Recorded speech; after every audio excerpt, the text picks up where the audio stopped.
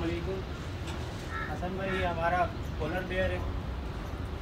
और इसकी तैयारी के लिए कम से कम भी दिन में पाँच से छः घंटे हमें लगते हैं। कराची में हमने तैयार किया ये बकरा। इसकी खुराक में आपको बता दूँ, गंदों में घास है, दूध है, तेल है, घी है, मक्खन है। ये तमाम चीज़ें हैं। इसके उसके बाद ये कपला बकरा। माशाल्लाह तैयार हुआ है। ये बकरा एक साल से मेरे पास है। पिछले साल रमज़ानों में ही मैंने ये बकरा लिया था। और मैं आपसे शेयर भी करूँगा इसका बिफोर जो है। आप देखेंगे तो इंशाल्लाह आपको एक अच्छा चेंज लगेगा इसके अंदर। माशाल्लाह अपने ही हाथ से शो के कोई बंदा नहीं, कोई लेबर नहीं, कोई भी नहीं।